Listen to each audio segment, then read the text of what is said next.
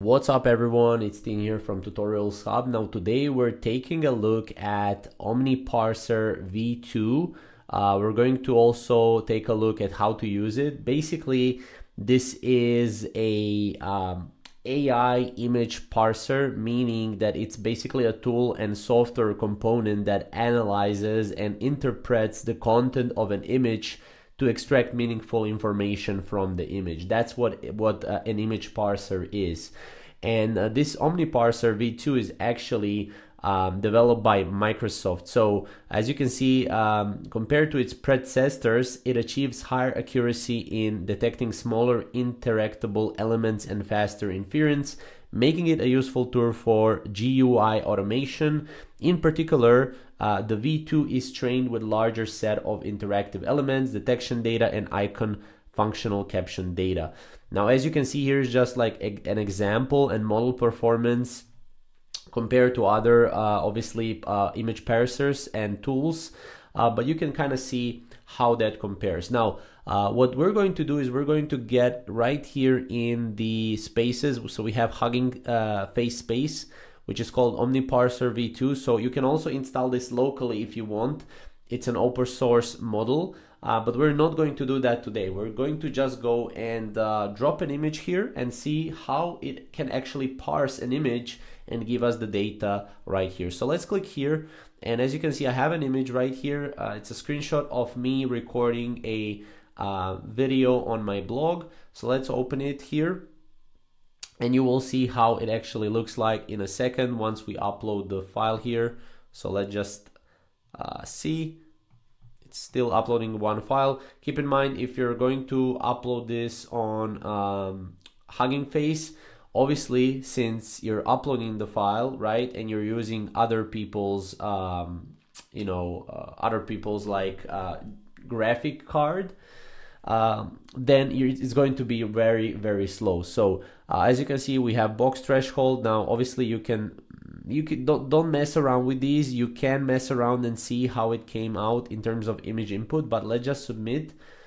And as you can see since we're using other people's GPUs as I said it's going to be a little bit waiting time. So as you can see right here we have it here. So it basically parsed uh, the each element right here as you can see so if we click on it if we actually download this let me actually show you so we go here, as you can see, this is how it looks like. So each element is basically um, labeled as a number and then it's also explained right here. So for example, as you can see, interactivity, false, content, auto SEO books.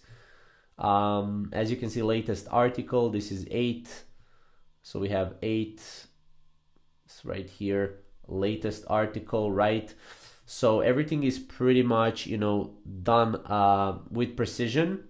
And basically, you know, um, usually uh, the use cases for this is, for example, self-driving cars, right? Recognizing traffic, signs, and obstacles.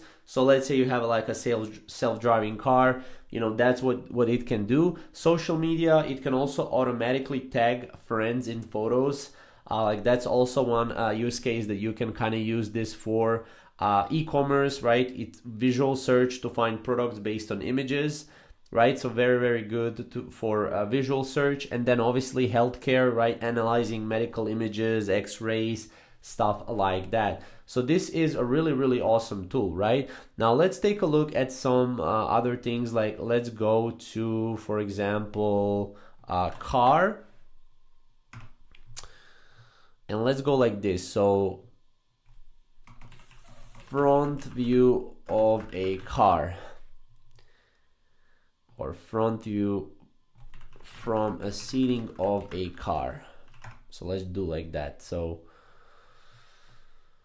as you can see so what we can do is we can probably save this right? And let's see what it can do with that. So if I go here if I just do this let's upload this and let's see what it can do with this. So again we can obviously play around with these right? Let's play around with these. Let's see what it we can do.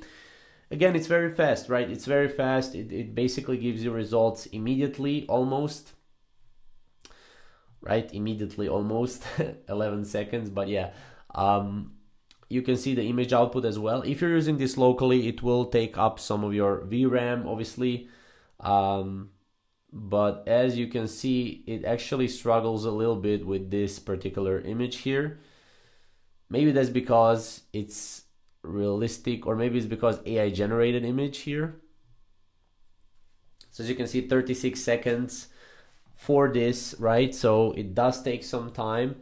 However, um, maybe that's because of the EU IOU threshold here that I put. Who knows? But let's take a look. So 53 seconds, almost one minute here, guys. So let's see. So I actually used different image this time and as you can see it actually failed to to fetch the faces, some of the faces or catch the faces. So if I even go this and if I play around with this, I don't think it will actually go and and do its own thing. So it is kind of uh, yeah, as you can see. So yeah, it is kind of uh, difficult to catch the faces, I guess, for the AI. Uh, but yeah, those are kind of the use cases that I uh, presented before. So yeah, this is pretty much what you can use OmniParser for. It's a very simple tool. However, it can be really great tool in the future. Uh, again, with the realistic images, I see that it's much easier, but with AI images, it's it's a bit harder. I waited for 80 seconds for the previous image and it didn't really generated any results. So uh, yeah, you can check out this if you go to spaces and then just go here and uh, you have it here, spaces of the week, and you can check it out. So hopefully you guys enjoyed the video. Hopefully you find it useful. We'll see you in the next video. Thank you guys for watching.